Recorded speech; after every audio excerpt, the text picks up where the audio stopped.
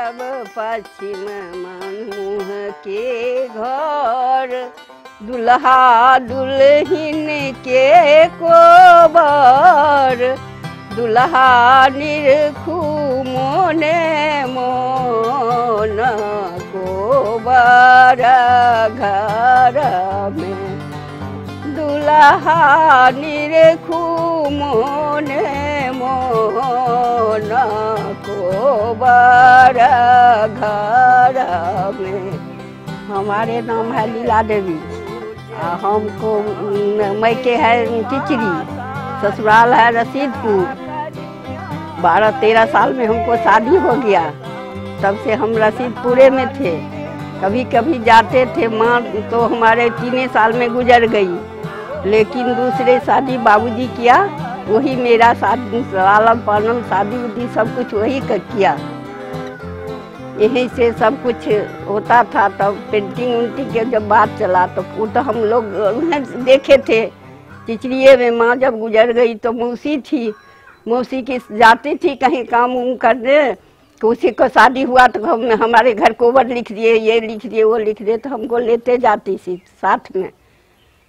तो हम देखते थी वहाँ तक बोलती थी जे रंग बना दे।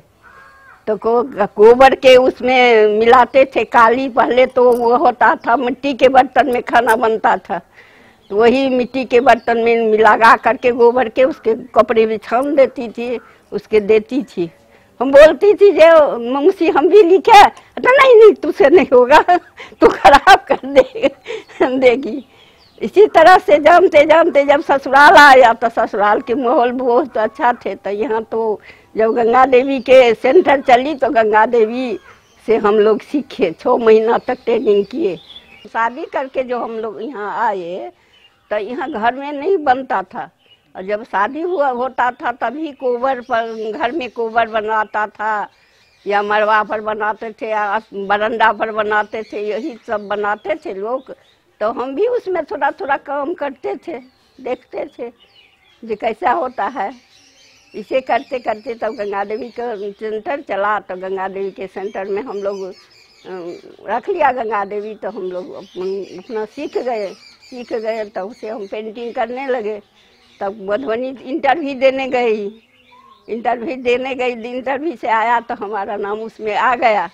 नौ आदमी के सेंटर में नौ आदमी के थे तो छः आए गंगा देवी के है जो हम गाँव वाला के रखेंगे।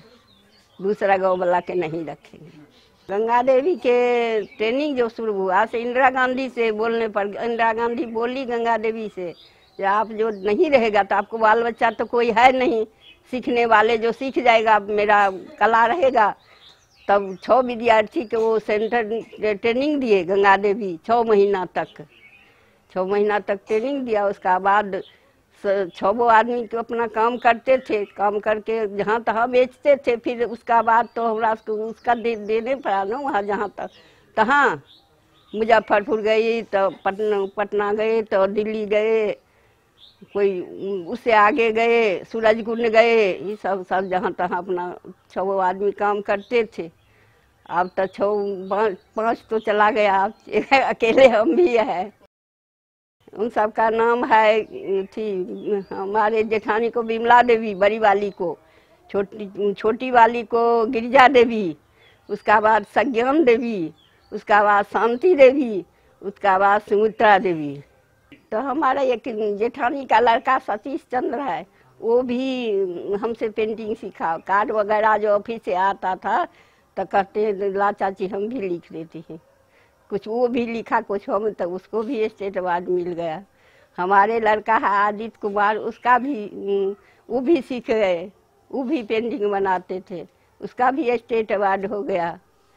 बेटी दोनों है तो उसका दोनों के नेशनल अवार्ड मिल गया। सब ऐसे ही सीख सीख करके हम सब अपना जो बाल बच्चा थे, सबको सिखा दिए।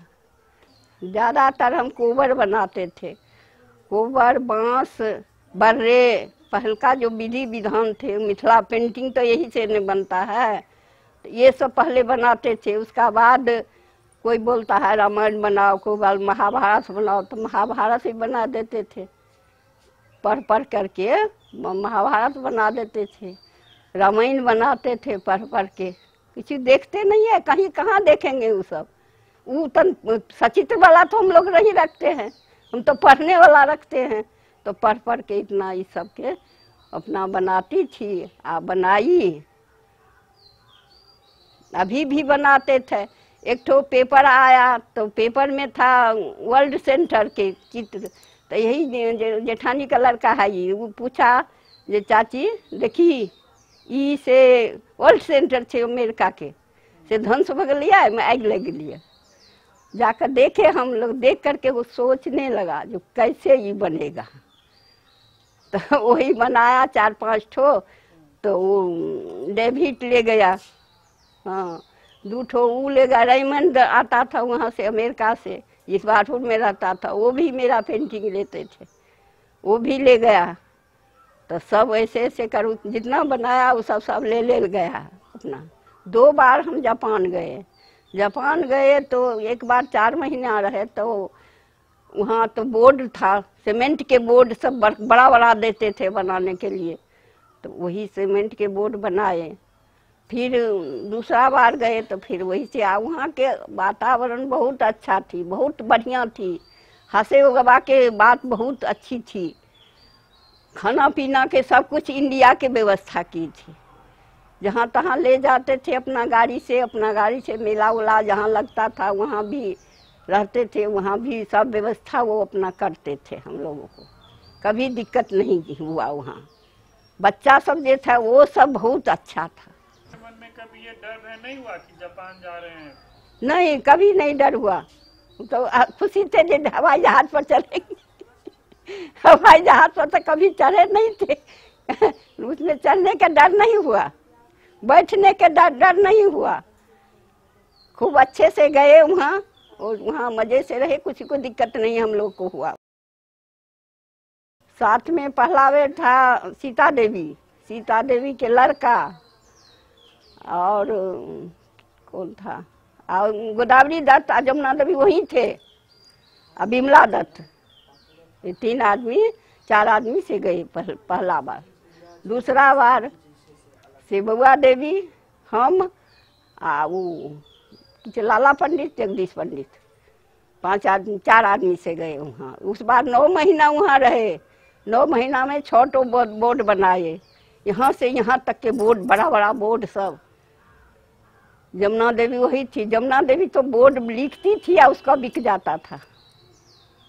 जमुना देवी के ऐसा था वहाँ, जो बोर्ड लिखती थी और तुरंत बिका जाता था उसका। जमुना देवी और बहुत अच्छी लोग थी। हमारे साथ थी वो फिर बोले थे वो जो आप आए न वहाँ से। नहीं तो वो बीमार जैसा हो गया तो वो कहा "हम्म, जमुना देवी जी हम चले जाएँगे। तो उसके कहीं जो क्या दिक्कत है यहाँ जो चले जाएँगे? दवा हुआ सब कुछ तो हो ही रहा है। चारे महीना है चारे महीना हम लोग के साथ रह जाइए तो उसका बाद फिर भी वो रुक गई। चार महीना के बाद आई तो उस दिन से बोलते थे वो कि आप जो जाइएगा तो आपकी के साथ जाएँगे। आप जाएँगे तो आप ही के साथ जाएँगे। गोदावरी दत्त के साथ नहीं जाएँगे जाएँगे। बेचारी फिर मिलबो नहीं किया। चल गई हमको साथ सब अच्छे थे। जगदम्बा देवी के साथ हम काम किए थे हार्डिंग पार में। जगदम्बा देवी, महासुंदरी देवी, गोदावरी दत्त, गंगा देवी, हम भी। एक महीना का तो वहाँ प्रोग्राम था। सात सात दिन का हम सब लोग को था। और उस लोग को एक एक एक महीना का था, पटना में हार्डिंग पार में।